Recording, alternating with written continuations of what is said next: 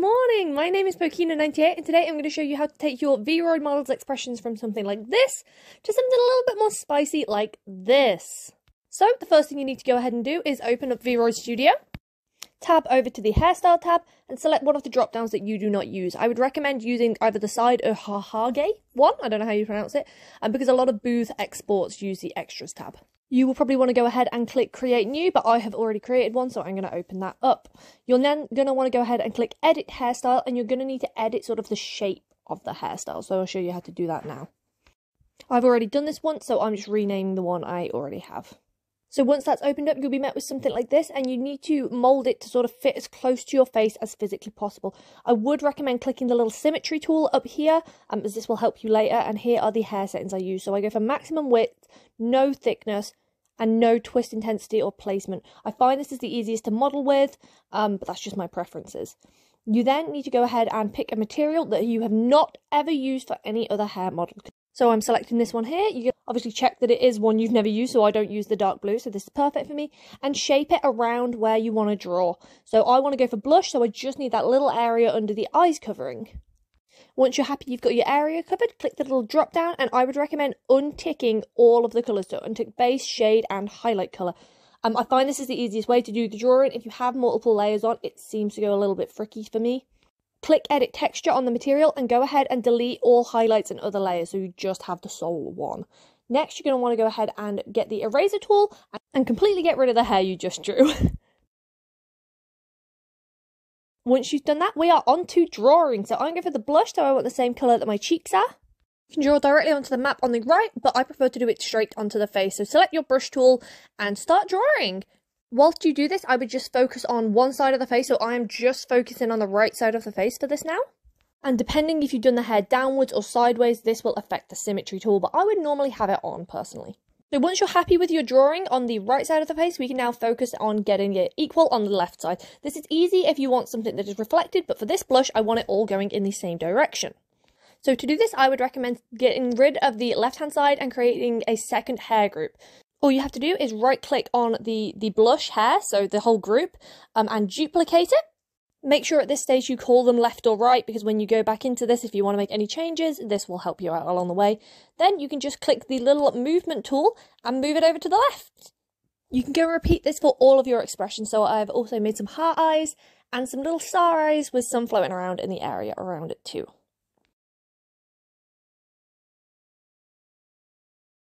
Okay, once you're happy with that, we can exit out of it and go ahead and save it. You can either override the one you've already made or just update it and save it as a new thing. The most important thing to do as you do this is make sure that all of the layers you want as expressions are visible when you export it. So make sure you click the little eye icon. Amazing, so now we can export it as a VRM with this little drop down up here. So we don't need to reduce the polygons or anything for this because we are using it in VSeeFace. So call it whatever you want and go ahead and export that.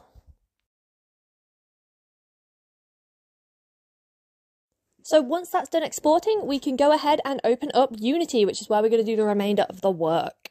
Once that's loaded up, click New Project, make sure you select 3D and call it whatever you want. So I'm calling this like Pokena's Frilly Top. Whilst this is loading, you need to go ahead and click this link down below and download the VRM converter for VRChat.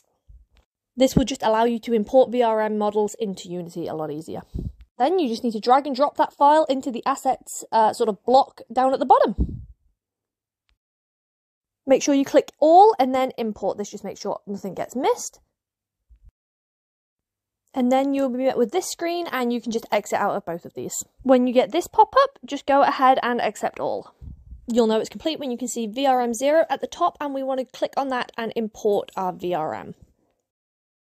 Once you've done that, it's going to ask you to save. Do not move where this asks you to save it. Um, I find that really messes it up, so just leave it wherever it's suggesting.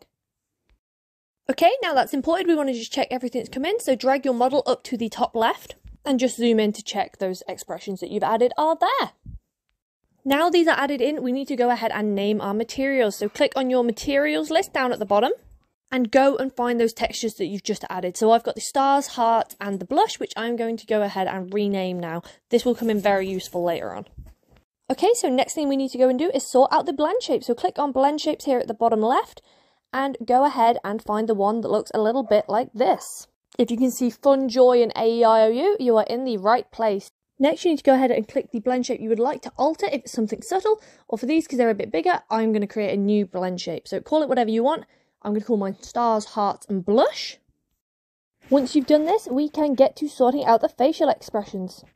Go back into one of your materials, click on Color Alpha, and set the alpha to zero. You need to do this for all of your materials so they are hidden. Once you've done this, we can go back into blend shapes and start doing the faces. So I'm going to start with the stars, so click on stars, click on blend shape here and then click on face. Now in here you can edit what you want your face to look like, but for now let's focus on the materials list. You need to click on that, click the plus, click your stars or whatever you want to pop up with this face, and then click the second drop down, color, and set the alpha back up to the highest it can go. At this point, you can start adding colour to whatever you want your, your stars to pop up as, but I just want mine as plain white. So the little image on the bottom right shows me what it's going to look like, and now I'm going to repeat the process for the hearts. Um, some of the differences you can do with this is you can actually sort of change the colour of individual elements. So you can also change the colour of different materials such as your irises. So I've got my hearts in here now, but I don't really like the colour they came out when I set them to white. So I am going to edit the colour and make them a little bit more of a pinky hue. Okay, so I think that looks good, and now I want to edit my irises to make those a little bit more pinky to just go with the romancy look I'm going for with these eyes.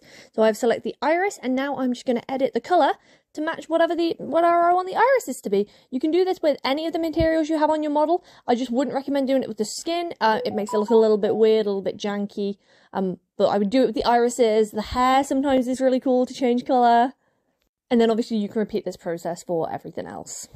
If you are trying to make one of your materials transparent, I see this big blush that I've got here, um, I would suggest you uh, change the opacity of the material before you input it into Unity or you edit it in your browser. Luckily for me, I like the little lines, so I don't need to worry about this, so I'm going to stick with those. Once you're happy with all your facial expressions and everything, go ahead and save it and then click on VRM and export.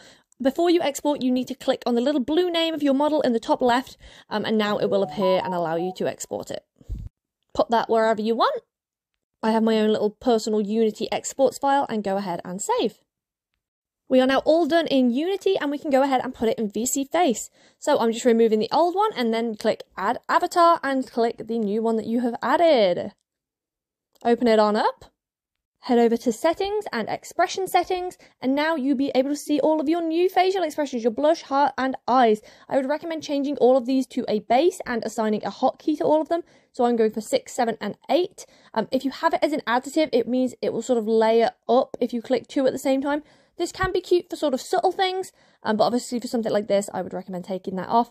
And check they all look good with the eyes blinking. I really don't like the heart ones, so I'm going to disable the enable blinking when I have my heart eyes set on. And that's literally all you need to do. Now, when you close this, you can go ahead and test all your settings. So 1, 2, 3, 4, 5, 6, 7, and 8. And there you go, you now have custom facial expressions on your VSeeFace uh, avatar. I really hope this tutorial was simple and helpful. If you have any questions, please let me know, or if you want a bit more in-depth tutorial on how to make stuff move and a little bit about opacity, let me know and I shall sort that for you. My name is Pokena, I'm a Twitch streamer, and I really hope this tutorial was helpful, and I hope to see you over there soon. Have an incredible day, and I'll see you soon. Goodbye!